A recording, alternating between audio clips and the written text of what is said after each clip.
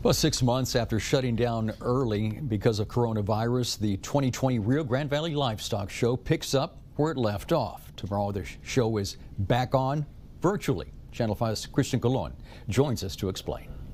For the first time in more than 80 years, the Rio Grande Valley Livestock Show shut its doors earlier this year because of coronavirus. Now the 2020 show must officially come to an end, but this time they're heading online.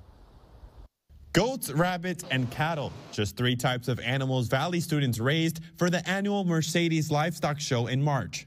I always correct my posture. Like I, I take video of when I show, and the way I look. If I'm doing something wrong, I correct it when, like for practicing with my goats. Cole Hinojosa is a junior at Lyford High School. Every show taught a different lesson, but nothing like 2020. Show organizers were forced to end this year's events early, an impact felt by students across the valley. I do my own thing. I'm not able to go and socialize with my friends in the pig barn as I normally would. I just stick to my goat now.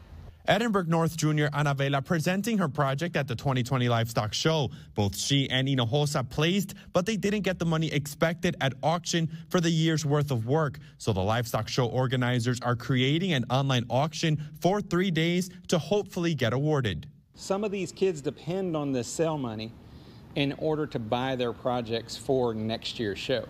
And so there's been some kids that unfortunately weren't able to get the project that they wanted because the sale hasn't happened yet. RGV, we need your help.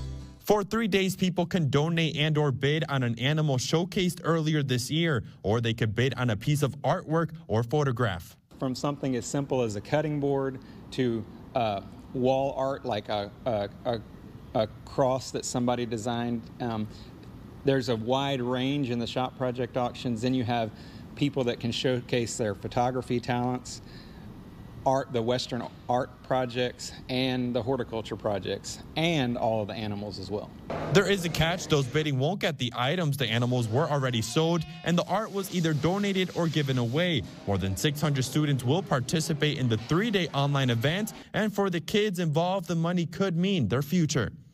College is not cheap, so for the less fortunate people that don't have their college paid for, this certainly helps us. As for Hinojosa, it's about using that money for next year's show. To learn more about the online event, head to rgvls.com. The auction will be from Friday until Sunday. For more information on how to participate, head to our website at krgv.com. In Mercedes, Christian Colon, Channel 5 News.